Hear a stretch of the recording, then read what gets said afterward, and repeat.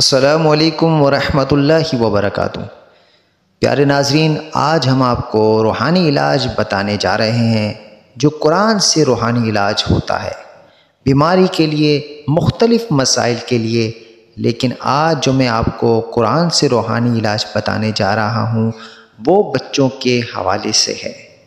यूँ तो देखिए, बड़ों के भी मसाइल और बड़ों के अपने नोयत के मसाइल होते हैं ख़वातीन के, इस्लामी बहनों के, अपनी नोयत के मसाइल होते हैं, परेशानियाँ होती हैं, इनके अपने मामलात होते हैं, बच्चों के भी अपने ही मसाइल और परेशानियाँ होती हैं।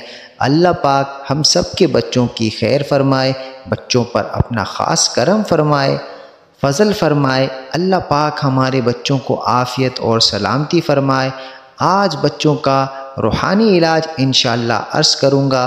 प्यारे नाजरीन बच्चों को चाहे नज़रबद हो, जो भी मसला मसाइल हों, हर किस्म के शर से बचने के लिए मैं एक रूहानी इलाज अर्ज़ करने लगा हूँ। अगर बच्चे बीमार होते हों, नज़र बद लग जाती हो, पढ़ाई में दिलचस्पी ना लेते हों, बच्चे जहनी कमज़ोरी का शिकार हों आँखों की कमज़ोरी हो, जिस्मानी कमज़ोरी हो, या बच्चे रोते हों, बिला वजह बच्चे परेशान करते हों, बच्चे बुरी सोबत में पड़ गए हों, या बुरे दोस्तों की सोबत में पड़ चुके हों, या अल्लाह ना करे किसी भी वजह की कोई भी मामलात हो, आज ऐसा वजीफ़ा अर्ज़ करने लगा हूँ। बिलखसूस, वालदेन चाहें तो ये वजीफ़ा नोट कर लें। और ये वजीफ़ा पढ़कर बच्चों पर दम करें। बच्चों के जो भी मामला जो भी मसाइल होंगे, अल्हम्दुलिल्लाह जवजल वो भी हल होते चले जाएँगे। यूँ समझिए कि नज़र बद और हर किस्म के शर से बच्चों को महफूज रखने के लिए इस वजीफ़े को पढ़ा जा सकता है। वो वजीफ़ा क्या है? नाजरीन, नोट कीजिएगा, चार सूरतें नोट कीजिएगा और मुख्तसर सा ये वजीफ़ा है बमुश्किल तीन से चार मिनट में ये वजीफ़ा आप मुकम्मल कर सकते हैं। सही तलफ़ और आराम और एहतियात से किया जाए, तीन से चार मिनट का ये वजीफ़ा है। वो क्या है नाजरीन?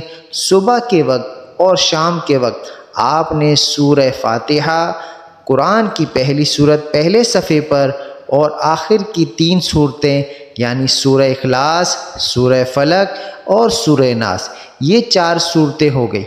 ये चारों सूरतें आपने तीन तीन बार पढ़नी है और हर सूरत से पहले बिस्मिल्लाहिर्रहमानिर्रहीम पढ़नी है और इन चारों सूरतों से पहले अव्वल आखिर इनके तीन तीन बार दुरू शरीफ पढ़ना है और पढ़कर बच्चों पर दम करना है। सुबह फजर की नमाज़ के बाद ये दम करें और शाम में असर के बाद ये दम करें। जहर के बाद भी कर सकते हैं। मगरिब से पहले पहले ये आपने दम करना है। सूरतों के नाम मैं आपसे दोबारा अर्ज़ कर दूँ कि तीन तीन बार अव्वल आखिर दुरुज शरीफ पढ़ना है और हर सूरत बिस्मिल्लाहिर्रहमानिर्रहीम के साथ पढ़नी है और सूरतें सूर फातिहा सूर अखलास सूर फलक और सूर नास। सुबह का वक्त नोट करें कि सूरज निकलने से पहले ये दम करना है और शाम में सूरज गुरूब होने से पहले दम करना है।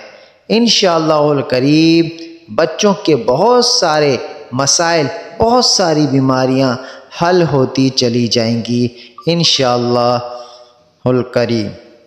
नाजरीन, अगर वीडियो अच्छी लगी हो तो हमारे चैनल जे इस्लाम को सब्सक्राइब करें और साथ में बेल आइकन के बटन को भी दबाएँ, क्या आपको हमारी ऐसी दीनी मालूमती वीडियोस का नोटिफिकेशन मिले? और सब आपकी नीयत से दूसरों को शेयर करना मत भूलें। वालकम वरहमल वर्का